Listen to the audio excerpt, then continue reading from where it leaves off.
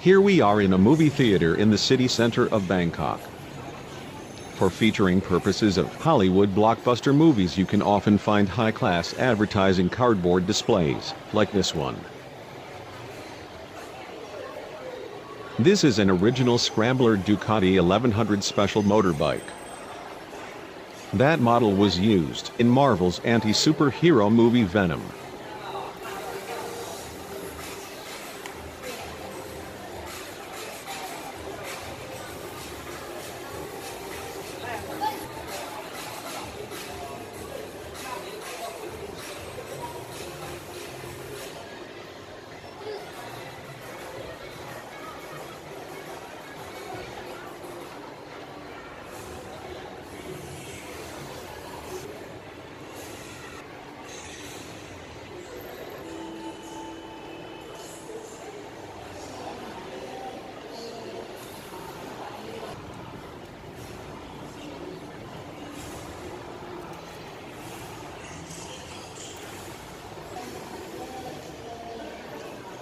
Thanks for watching.